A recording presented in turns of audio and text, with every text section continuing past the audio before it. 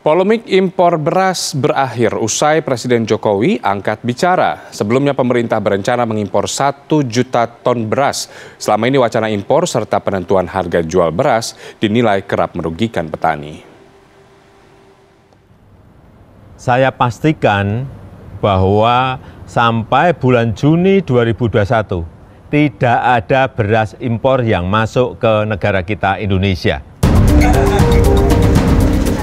Pernyataan Presiden Joko Widodo yang menegaskan pemerintah tidak akan mengimpor beras hingga pertengahan tahun ini mengakhiri polemik rencana impor beras yang bergulir usai Menteri Perdagangan Muhammad Lutfi menyebut impor beras perlu dilakukan untuk menjaga stok beras nasional sekaligus menstabilkan harga pada 15 Maret lalu.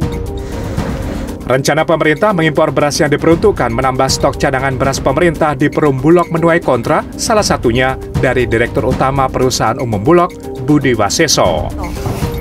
Budi meminta pemerintah tidak terburu-buru memberikan penugasan impor beras pada perusahaan yang dipimpinnya, mengingat saat ini petani akan segera memasuki masa panen raya, dan hingga 25 Maret 2021, Bulog masih memiliki stok beras sebanyak 923 ribu ton.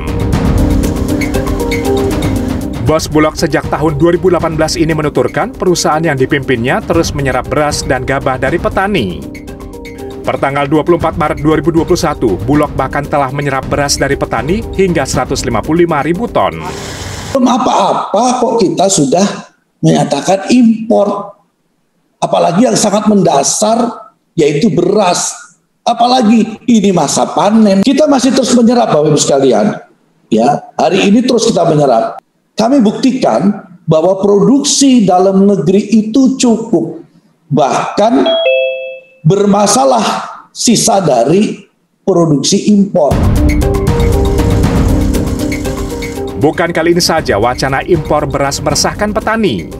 Guru Besar Fakultas Pertanian IPB sekaligus Ketua Umum Asosiasi Bank Benih dan Teknologi Tani Indonesia AB2TI Dwi Andrea Santoso menyebut pernyataan pemerintah terkait wacana impor kerap membuat harga jual di tingkat petani menjadi anjlok. Ia menegaskan apa pun alasan pemerintah yang mendasari rencana impor jelang terjadinya puncak musim panen di bulan Maret dinilai tidak masuk akal.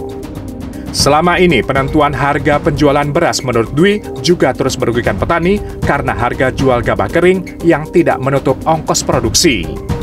Masuknya beras impor akan membuat disparitas harga yang semakin tinggi dan petani kian merugi. Apalagi saat ini di pasaran harga jual gabah dan beras di tingkat petani terus mengalami penurunan yang secara tidak langsung menunjukkan terjadinya surplus di masyarakat